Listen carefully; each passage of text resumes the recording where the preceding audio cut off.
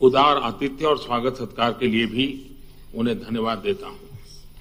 SCO प्रमुखों की इस बैठक में भाग लेना मेरे लिए खुशी की बात है। भारत को एससीओ के पूर्ण सदस्य के रूप में दो साल हो चुके हैं। हमने एससीओ की सभी गतिविधियों में सकारात्मक योगदान दिया है। हमने अंतर्राष्ट्रीय क्षेत्र में एससीओ की भूमिका और विश्वसनीयता में वृद्धि के लिए व्यापक एंगेजमेंट जारी रखे हैं। एससीओ क्षेत्र तथा भारत के इतिहास, सभ्यता और संस्कृति हज़ारों साल से परस्पर जुड़े हुए हैं। हमारे इस साझा क्षेत्र को आधुनिक युग में बेहतर कनेक्टिविटी की बहुत आवश्यकता है। International north south transport corridor Chabahar port Ashgabat समझौते जैसे इनिशिएटिव्स कनेक्टिविटी पर भारत के फोकस को स्पष्ट करते हैं। हमने 2017 में काबुल और कंधार और नई दिल्ली और मुंबई के बीच एयर फ्रेट कॉरिडोर का भी संचालन किया है। संप्रभुता, क्षेत्रीय अखंडता, सुशासन, पारदर्शिता, व्यवहारिकता और स्थिरता के लिए समान कनेक्टिविटी के पहलों के आधार होने चाहिए। फ़िज़िकल कनेक्टिविटी के साथ साथ पीपल टू पीपल संपर्क का महत्व कम नहीं है। हमारी ई पर्यटक वीज़ा सेवाएँ अधिकांश एससीओ देशों के लिए उपलब्ध हैं। मुझे यह घोषणा करते खुशी हो रही है कि भारतीय पर्यटन की वेबसाइट पर शीघ्र ही एससीओ देशों के पर्यटकों की आसानी के लिए रूसी इंटरफेस और रूसी भाषा में 24 फोर बाई सेवन पर्यटक हेल्पलाइन प्रारंभ होगी। एक्सलेंसी एससीओ क्षेत्र में स्थिरता और सुरक्षा के लिए शांतिपूर्ण, एकजुट, सुरक्षित और समृद्ध अफ़गानिस्तान एक महत्वपूर्ण कारक है। हमारा उद्देश्य Afghan led, Afghan owned and Afghan control समावेशी शांति प्रक्रिया के लिए सरकार और अफ़गानिस्तान के लोगों के प्रयासों का समर्थन करना है। हमें खुशी है कि एससीओ अफ़गानिस्तान कॉन्टैक्ट ग्रुप के फर्दर एक्शन का रोड मैप तैयार हुआ है। एक्सलेंसीज हम सबका विजन हमारे क्षेत्र में हेल्दी कोऑपरेशन को मज़बूत करना है। हेल्थ शब्द के अक्षरों से हमारे सहयोग के लिए एक अच्छा टेम्पलेट बन सकता है।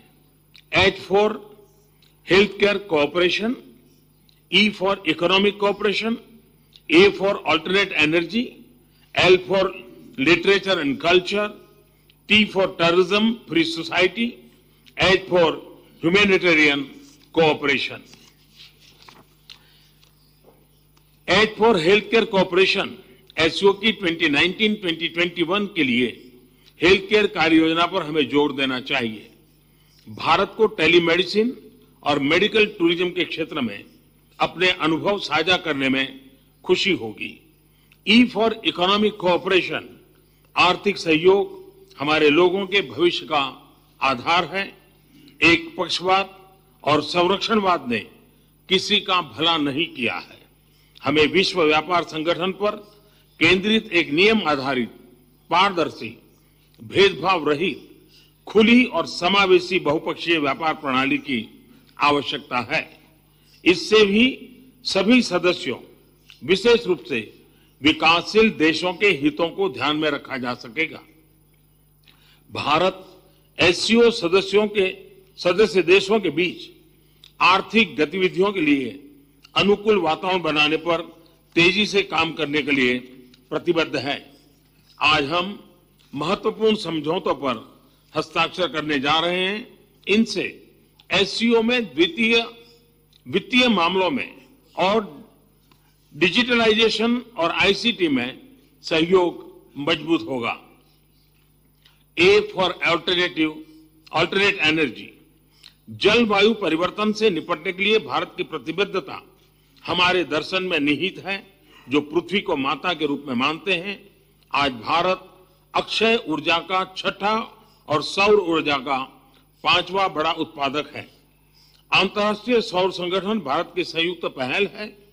इसका उद्देश्य और ऊर्जा की लागत कम करने के लिए प्रौद्योगिकी और वित्त जुटाना है।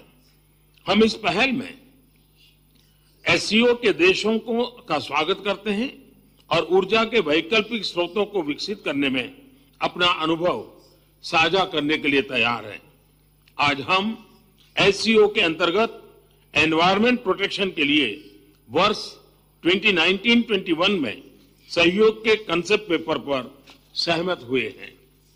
एल फॉर लिटरेचर हमारे युवाओं को, एक दूसरे के साहित्य को, यानी लिटरेचर के परिचय हमारे संबंधों को गहराई देगा।